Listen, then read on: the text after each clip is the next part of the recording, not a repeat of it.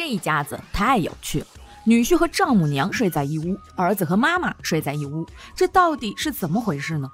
学校终于迎来了期盼已久的暑假，熊孩子们开心的一路狂奔，丝毫不在意挡在校门口的老师，结果老师就变成了这个样子。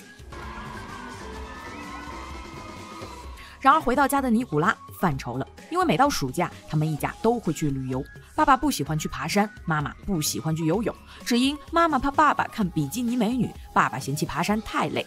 不过今年老爸硬气了一回，却不想老妈答应的非常爽快，只不过有一个小小的要求，那就是带上尼古拉的外婆，自己的老妈。说起这个老岳母，老爸也是非常头疼。他不是夸妈妈的前男友帅气，就是把自己的过错诬陷给爸爸。也就是说，有外婆在的地方，爸爸就高兴不起来。然而他的反对没有丝毫作用，于是，一家人在沉闷的气氛中出发了。可让人更郁闷的是，他们路上遇到了大堵车，在外婆不停的念念碎中，老爸一脚油门就开上了一旁的岔道。后面的车见状，纷纷跟在后面，但爸爸选的这条路却被一只牛阻挡。眼看外婆又要再次念念碎，老爸再一次猛打方向盘，这下好，世界都安静了。好在他们顺利来到了酒店，可现在只剩下两间房，于是尼古拉只能和外婆睡在一间。不过外婆的呼噜声太大，尼古拉就跑到爸妈的床上。然而尼古拉睡觉一点都不老实，无奈的老爸跑去和岳母睡到了一间房里。但外婆的呼噜声，老爸也受不了，最后只能在浴缸里躺了一夜。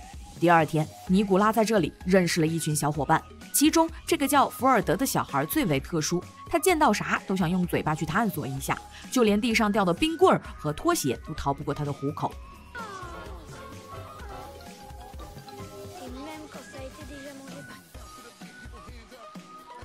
这个男孩为了保护小朋友们的安全，一把抓住跑向他们的毒蛇。不过这自救的方式有点坑朋友啊。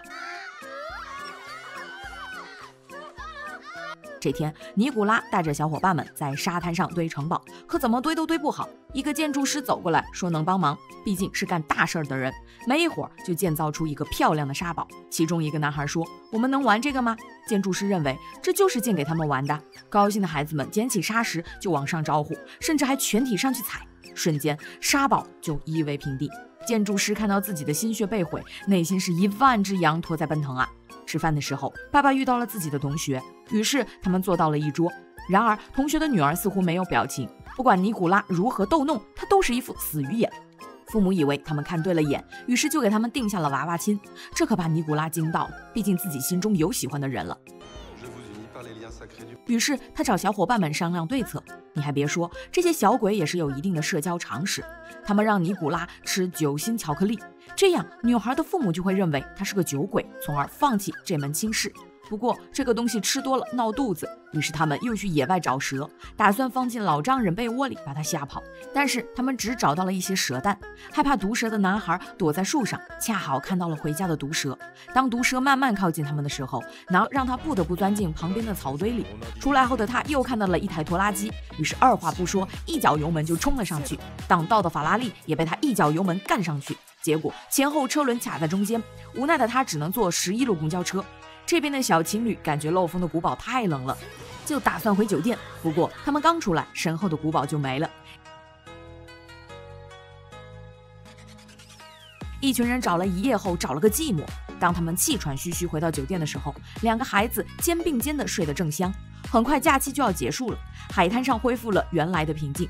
尼古拉和小女孩也纷纷不舍得告别。这是一部让人爆笑的法国喜剧片，它的第一部《小淘气尼古拉》也十分的不错。有喜欢的小伙伴们记得观看哦。我是女汉子，点关注不迷路，爱你们哦。